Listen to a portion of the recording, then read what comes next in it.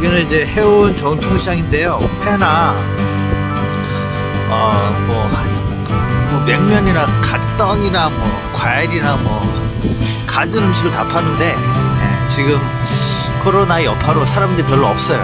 아 그래서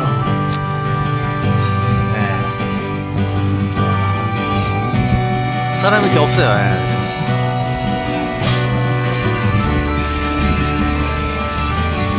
명동 때랑 비슷한 것 같아요. 이렇게 여기. 네.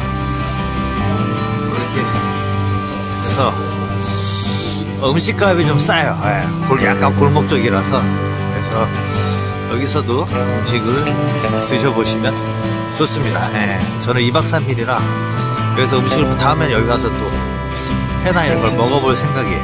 예. 뭐저 뒤쪽으로 가면 끝으로 하면 또 빠들이는데 바깥쪽보다는 싸요. 왜냐면 월세가 낮기 때문이겠죠. 예. 여기서도 드시면 좋습니다. 저렴하게.